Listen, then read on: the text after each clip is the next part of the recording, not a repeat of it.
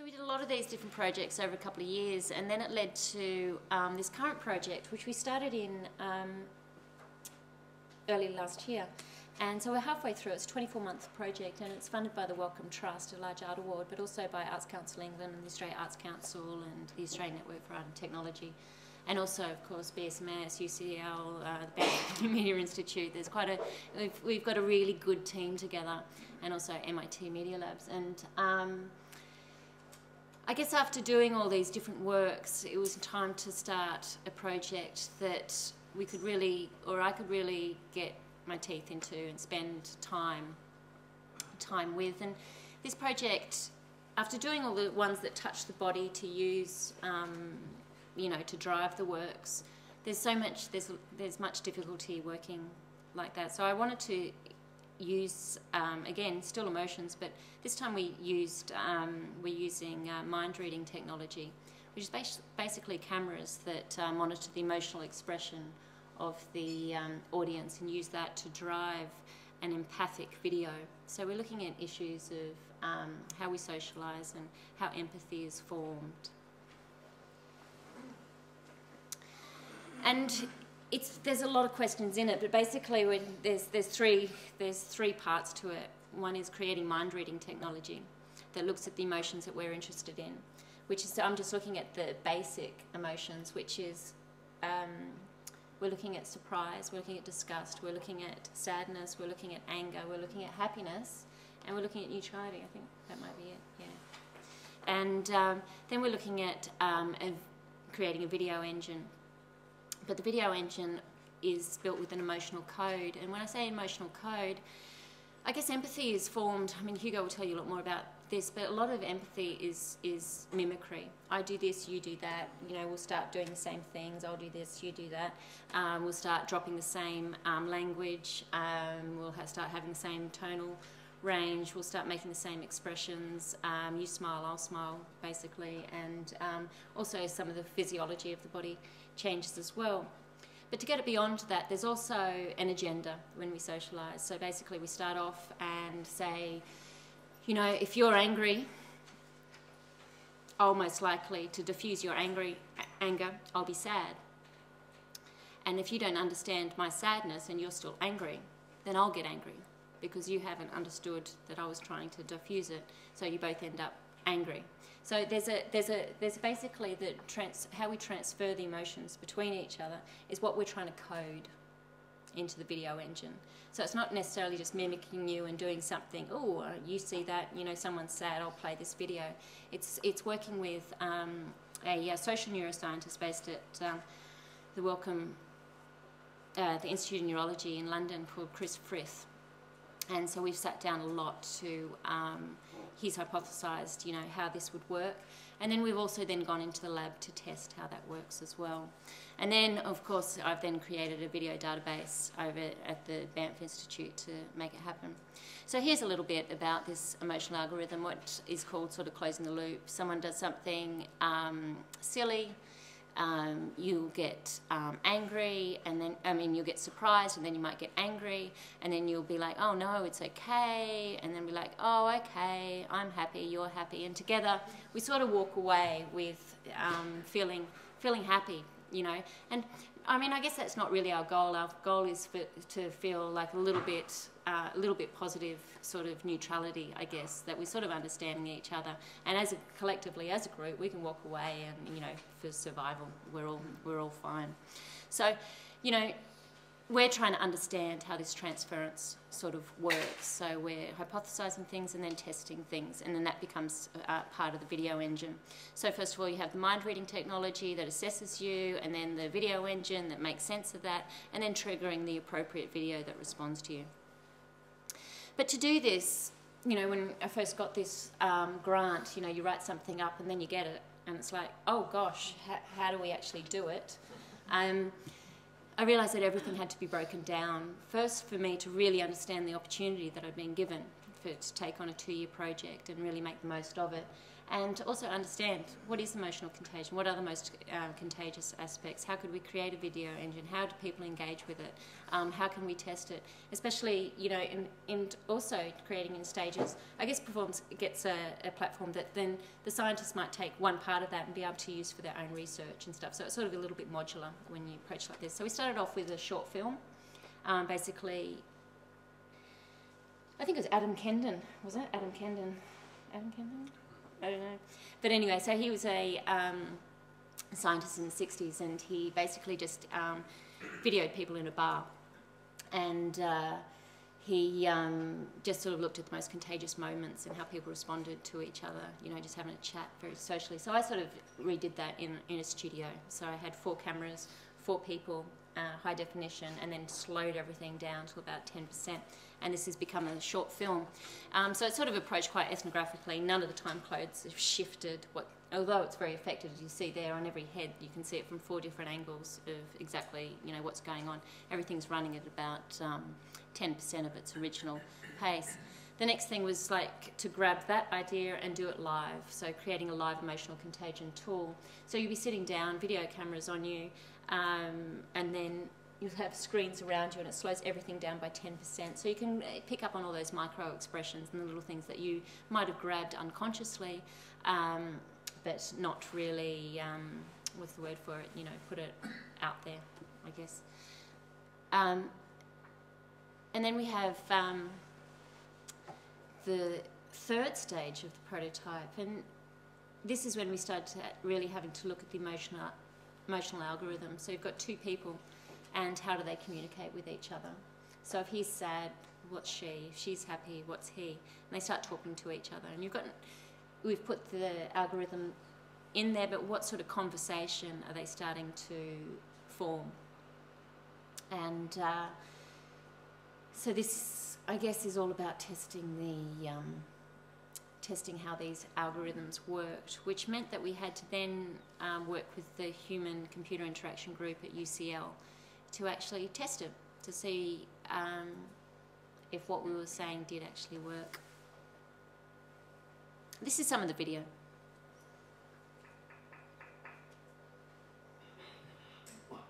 I don't get it. What are you thinking? What are you thinking? Like, who am I? Like a piece of fucking dirt? Talk to me like that again. I'm telling you, I am so fucking sick of it.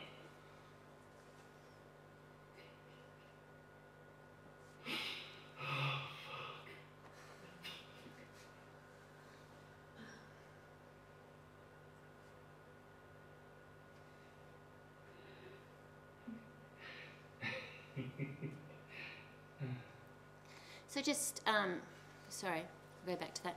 But just quickly, I guess with that video, that was quite an interesting thing in yourself, in itself. How do you get an emotional, if you're asking people to come in front of the camera and act out an emotional response, how do you get it, one that translates onto it, a sense that it makes you feel sad, I guess has that emotional contagion to it. So I guess we started to look at the Stanislavski technique, embodying emotions, and also I found a good technique was to ask um, this was all done at the Banff Centre, so I was at a residency with probably about 30 or 30 artists or so.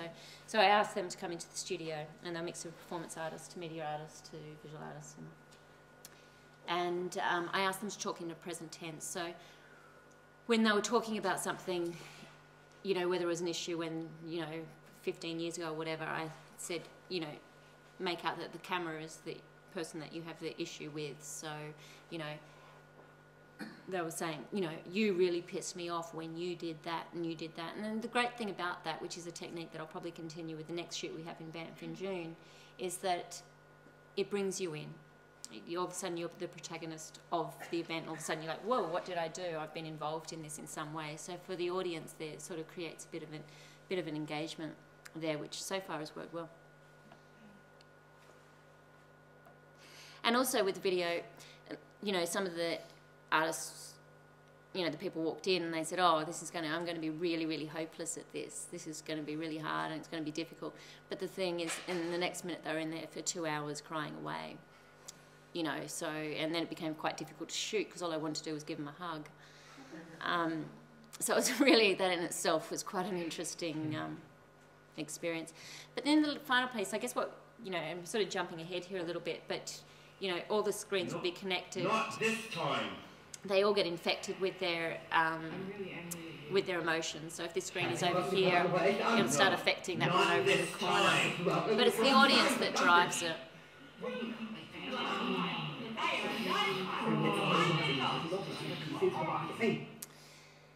Um, so to test the emotional um, video, what you had to do was basically set up a sort of Wizard of Oz um, system because a lot of the technology wasn't created then. So we had one person, an observer, looking at um, these video clips, and then in another room we had a rater observing the rater's face. So, and then after that, we, you know, and then also the people who took part also had a had a questionnaire. Questionnaire. So we had the original code and tried to see if that actually matched matched up. What we got out of it was there was a definite engagement, and also there was a sense of feeling that um, of reflection that came up. Oh, when he was sad, it made me feel about you know something like this, which is really you know also the space that I that I wanted to feel. And interestingly, what they also did was attach meaning. So, you know, oh, but when the video did, when I went like that, the video went like that too. So it really is responding to me as well. So there was quite a few interesting things that came up. Um, the code needs a little bit of reworking in the results that we got back of what we hypothesised what the emotional response would be, but that's what we're working on at the moment.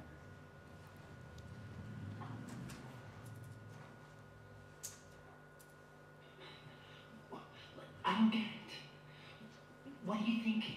What are you thinking? So these guys are shot who am I, like a separately. piece of I'm fucking really dirt? angry at you. But they end up having I know it doesn't feel a like dialogue, I am, if you like. It never really looks like I am. It's all I'm about you. actually very It's angry. like all about you. I'm angry because you're angry. And when you're angry, Have, I get angry. have your way. Have your way. So maybe you need to start dealing with your anger so that I can release mine then and not be experiencing this. because whenever I'm near you and you're really angry, I'm really angry. I get angry. And it's not I my know it anger, it's look your like I anger. am, And I, it never really looks like I So am. I don't know what you actually do to to stop being so angry. But if I can So you notice on the other screen, when we did the shoot, which I will probably continue, we shot with um, three um, cameras at the same time, so we could easily just flick between the two. Because I was thinking about that we might want a movement sensor to move where the audience is, so it always faces them. I don't know whether we'll do that yet because we're still at um, we're sort of still at the If I can help beginning. you, I will. But um, do something, or else maybe we shouldn't. It's been so long, hasn't it? Right now, I'm so happy to see you. You go work out your anger, and I will go.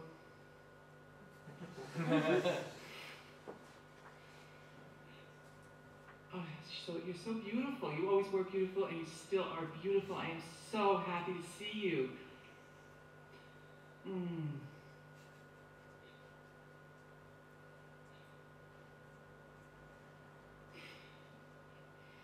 Yeah, me too.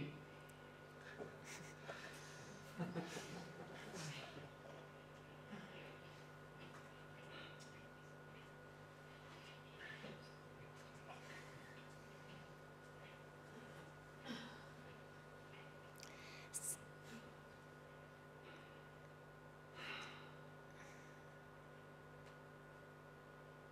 really miss you.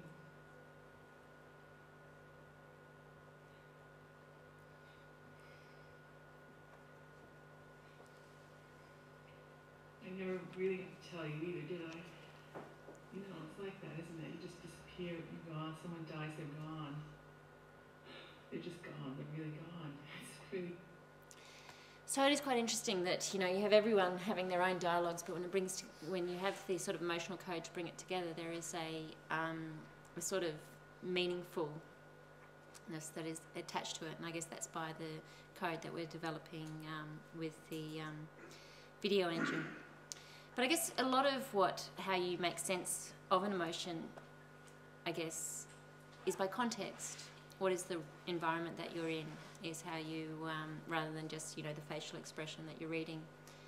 And so here I sort of tried to look at, you know, how could we get more context to you know what these um, people are feeling, and um, we did a you know, the same emotional code was going on, but at the same time, it was looking to the web and it was grabbing a woman talking about anger and then transposing that onto the video screen itself and then the man would respond and he might be sad so it did an instant search and grabbed some text of a man feeling sad and put that onto the web. So all of a sudden you've got this sort of second dialogue going on and a textual dialogue I, I guess going on that always was on the again on the threshold of you know making sense and it was quite interesting how you wanted it to make sense how you sort of looked at it as a sort of um, as a you know maybe an interesting dialogue. And then here I started to look at well, how could we deal with um, revealing the image? Because when we're feeling something, you know, to say that I am sad, I mean, it's it's so complex because when I'm sad, I'm also a little bit angry. I'm also a little bit fearful. Do you know, there's so much stuff going on. You know, what's happening around. You know, the history. So how do you reveal an image rather than saying sad, sad, you know, which is quite um, quite blunt in, in some sort of ways. So basically, I ended up cutting up the image, and each piece of the image ended up infecting itself through an emotional contagion. And um, I like what's going on here, and I like this idea of revealing um, the content of the image through the actual the image through the content of what that image is about that um, rather than just showing it. I don't know whether that made sense. But it doesn't work for this project because it becomes too abstract and what you want to read is something straight away. So it is something that I will take further probably in another in another project. So we sort of started with that but didn't really get to go anywhere in the end. Then we started to look at well, if person A, for person one was feeling sad, how would that affect person 12? So emotional contagion is in groups. So once we've got the two people working together, how do we spread that out? And um, this piece was exhibited last year, and um, no, it was quite interesting to watch. It was at UCLH um, Hospital in the um, foyer, and this is some of it. This is the uh, Max engine um, that run it, and then that looks to a separate JavaScript code. And this is, this is a little bit slow because it's just a screen capture of, of it actually working. And this is, this is sort of, they're all sitting in neutral at the moment, waiting to start enticing each other. But originally, how I sort of envisioned this was that every, you know, each person would be on a sort of separate screen, but we don't necessarily have the, you know, that obviously creates a lot of computers and a lot of screens to run it. This is when they start getting angry. So when you walk into this and you start hearing this dialogue all surrounding you, you start, your heart goes up and you start to really, you know, get quite anxious.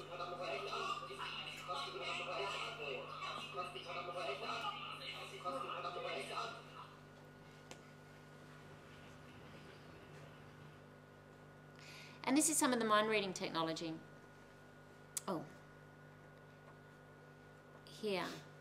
And so you can see it's latching, it, it's, this was developed and is still being developed by MIT and it's also uh, being taken over by Google. And um, it's with the Affective Computing Group at MIT, and I'm a visiting artist over there. And they started this with the idea for um, to work with people with autism because people with autism don't really understand emotional expression. So they figured if they built this technology, that would allow people, you know, quite um, what's the word I'm trying to get? Like put it out there. Like, oh, I don't know. Anyway, make it really um, yeah that high profile. I don't know. Anyway, it's escaped me tonight. Yeah. But um, So basically, they would, you know, start to understand it and then create a learned behaviour. Oh, they're feeling this, so therefore I will react like this. And when I looked at this, and I, I met Rana, who's who started the uh, Kaliouby, who started developing the technology quite a few years ago. And we met in, I think, 2004 or 5 when she was first starting, and I was like, oh, this is really interesting, I want to do something with this.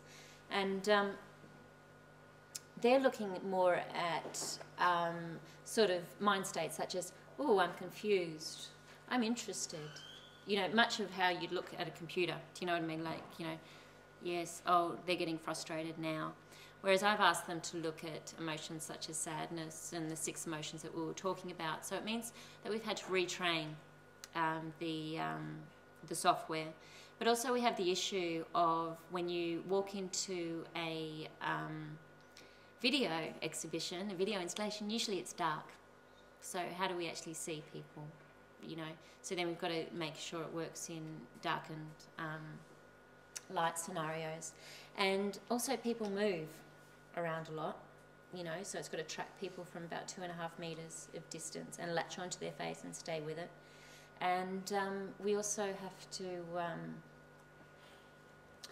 I guess, look at subtle expressions. You know, usually if you're uh, if you're watching the television by yourself, for example, you know, scientific um, experiments have said that even if something's funny, you'll just sit there and go.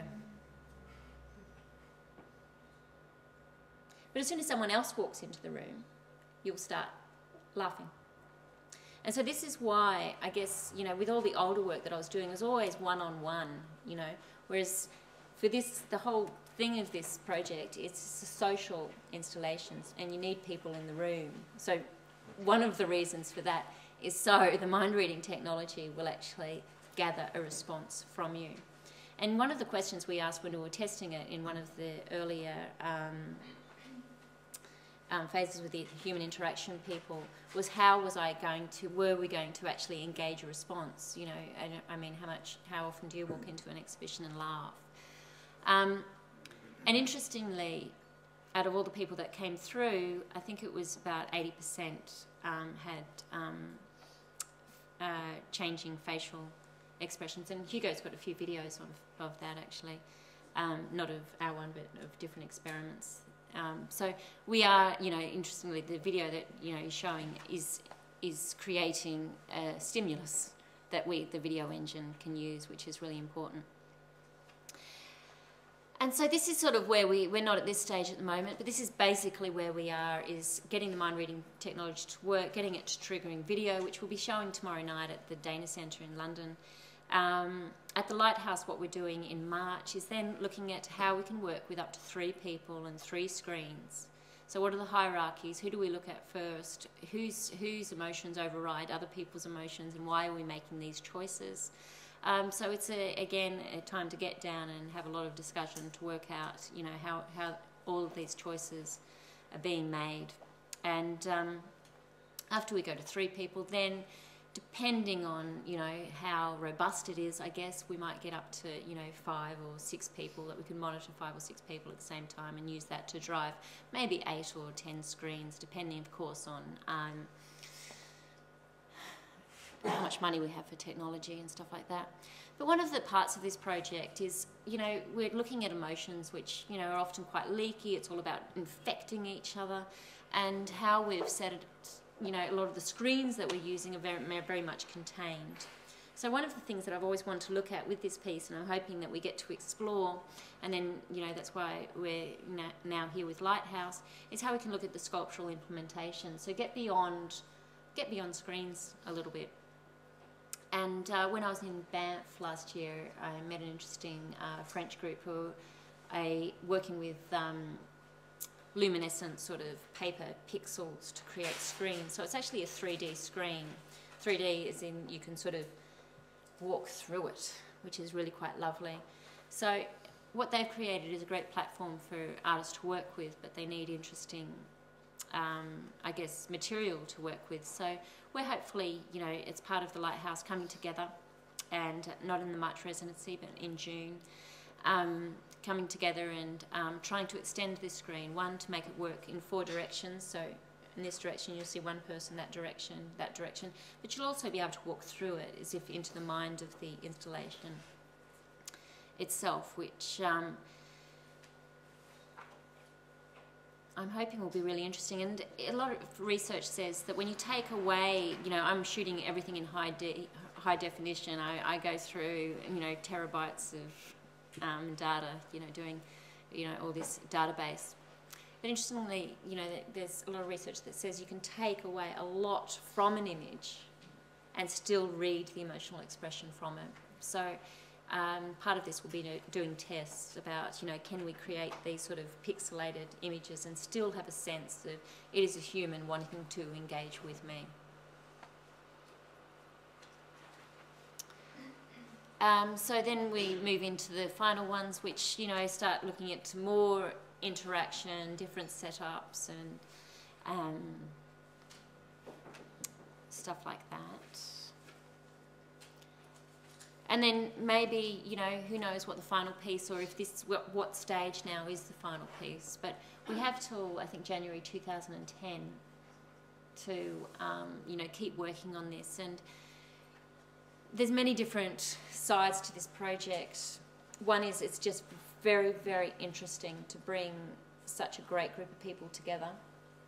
And then there's a bit of, you know, cross-fertilisation that goes on that, you know, maybe there's something that Hugo is doing that might work with MIT that completely has nothing to do with me or, do you know what I mean? So it's just about, you know, how you can, as an artist, I guess, I've always found, I've done a lot of different artists in residencies around the world and also in different types of institutions. And one of the main roles of that is, I think, facilitating collaborations with other people. As an artist, you tend to knock on people's doors and ask probably stupid questions that don't get asked because everyone's too scared to ask.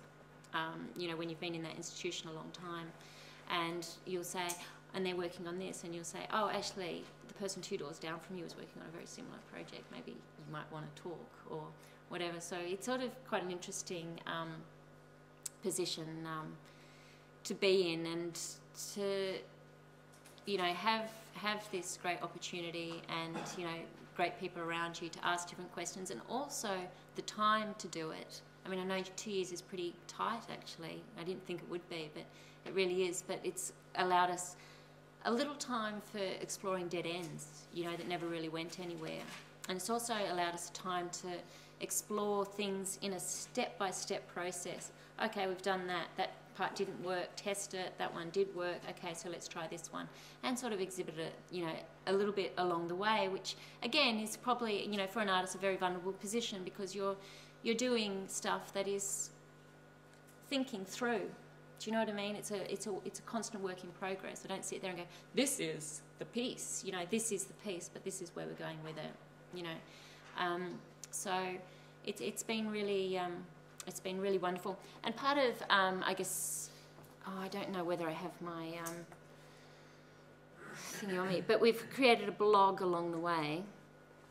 Um, and this one, I guess because it is so, I've got a few blogs actually for this project.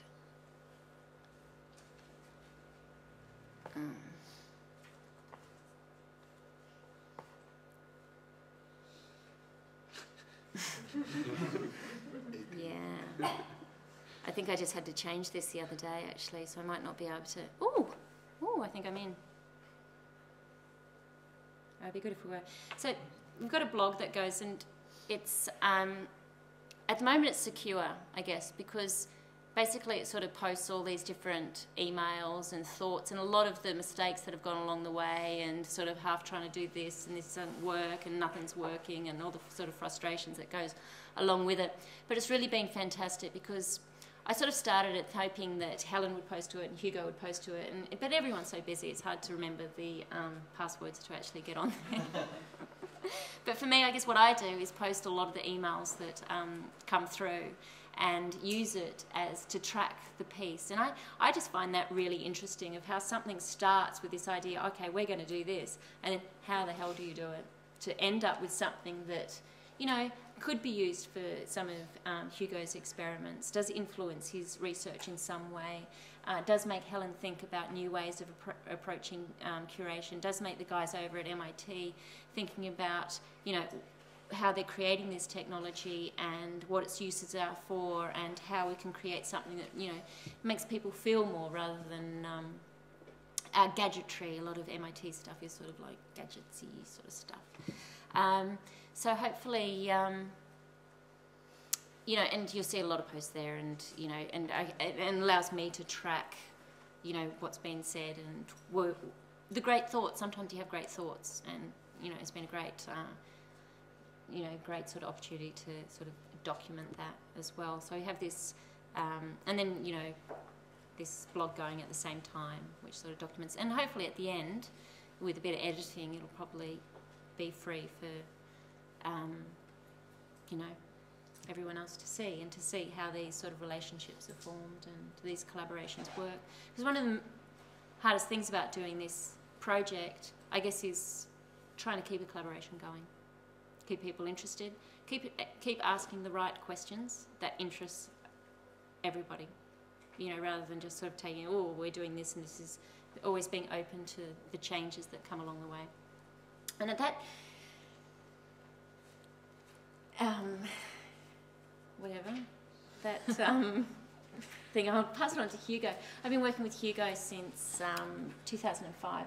I wonder if we should just take a couple of questions. All right, If, if, yeah. that, if that's all right, everybody. Has anybody got any questions? So if you haven't, I've just got one really burning one that I didn't know about. So Okay. um, you said you had to retrain the software, yeah.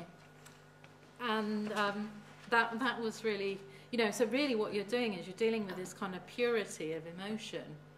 And so things like confused, I presume those are hybrids of emotion, of different emotions. So I'm just asking you, is that purity a good way to go? Or are some of these hybrids quite good things to... I think the hybrids follow. are. I mean, I guess I'm just sort of interested in these core emotions, but this was also, you know, a problem that when I started, when I did this jury piece um, a few years ago, I created this amazing database of video, but I forgot to realise that when people talk, they're actually quite monotoned, and what we're talking about is all quite boring. So the video was never seen like a lot of what we saw on this jewelry that triggered, you know, the, your voice triggered the database was generally um, pretty, pretty dull. But I think a lot of what neuroscientists' experiments are based on is pretty bad stimuli. You know, you've got um, like the Ekman stuff and the uh, Karolinska um, database of emotional expression. They're basically research students acting out different emotions. They're pretty poor. Um, you know, all you sort of look at in the end is that, you know, it doesn't get much of an emotional response. Whereas I think as an artist, or as my role as an artist, what I want to do is make people feel. So I know I'm, I am dealing with the core emotions, and I am dealing with really sh- a lot stronger imagery. It's very rare that you'd have conversations that were going up there, but what they do, I guess, is allow the audience to take a moment or to remind them of times when they've felt, or you know, or something like that. So I guess that's Okay, no, that's, Yeah. that's really helpful. Um, is anybody else? Just a, a quick technical question. You said that the sweat, for example, determined the video. How did, the, can you say how that, how it does that? If you sweat So- a lot, do you get more clouds, or So- and how do you do that? Yeah, I mean, basically with that one, I mean, the thing is, is we did a couple of little experiments. and One, one I think Hugo might talk about a bit more, but sweat is an indicator of basically um, calmness or anxiousness. Not necessarily, it won't say, oh, sadness." You know, it won't define it. It'll basically saying, "Oh yeah, you're pretty calm" or "You're pretty anxious," and it is. What's the most interesting about it? Thing about it is that it's really. Um, what's the word for it? It's, it, it, it's, it's fast. You know, basically, someone will walk past me. It will, there will be a change in, you know, the computer will pick it up really quickly, and that um, that immediacy is really fascinating. It's a lie detector, yeah. And um, how I used it, sorry, to not to respond. I didn't train people not to sweat. I wanted people to respond. And basically, I, bas- I made a, um, you know, pretty simple and semi-ambiguous narrative that if you were anxious, it basically reflected that, and the clouds would start rolling in, it would start snowing and stormy, and then you'd have to, people would work out pretty soon, just with their own breath, they'd sort of end up closing their eyes really, take a few deep breaths, and then all of a sudden everything would start calming down, and all of a sudden, you know, there would be um, the clouds will sort of disappear, and you'd see sort of blue sky and everything. But um, it was it was always quite interesting because in the environments that I showed it, which was a lot to the neuroscientists at UCL and setting it up over at um, different spaces in UCL, you'd always have people walking in. So all of a sudden, people thought they had control of it, but then someone else would walk in and everything would just turn stormy again, and you know, you'd um, start from the very beginning. But another one of the pieces that um, Hugo asked me um, last year, the year before, the year before that, I don't know, to do a um, to do a database of imagery that um, that um, induced disgust, which was really interesting and very hard to create. So we had to create a lot of imagery that, you know, Red Cross line, uh, landmine victims, um, uh, a lot of people spewing up. Um, then he wanted to di- differentiate between. Um, um, can you talk about this? Yeah, absolutely. Do you want to start talking? Uh, I mean, essentially, the um, there's an argument that body states of arousal aren't differentiated enough to account for the wealth of our emotional experiences and the language that, that goes with the poetry of emotion. Um, but with disgust, there seems to be different types of disgust that weren't differentiated well with, with language. It's the kind of disgust that makes you faint to the, you know, compared to the disgust that makes you vomit, to the disgust that makes you morally outraged. And, and we try to dissect out the, the body responses and the brain responses, controlling at least the disgust that makes you faint from the disgust that makes you um, vomit, or at least feel nauseous.